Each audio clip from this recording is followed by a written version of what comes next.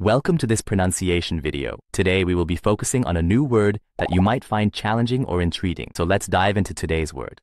Traum, which means, A dream, often associated with hope or fantasy. let's say it all together. Traum. Traum.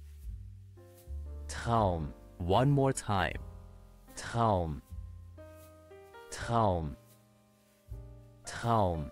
Thank you for joining us on this adventure in pronunciation. Remember, language is a journey, not a destination. Keep exploring, experimenting, and expanding your linguistic horizons. We'll see you next time.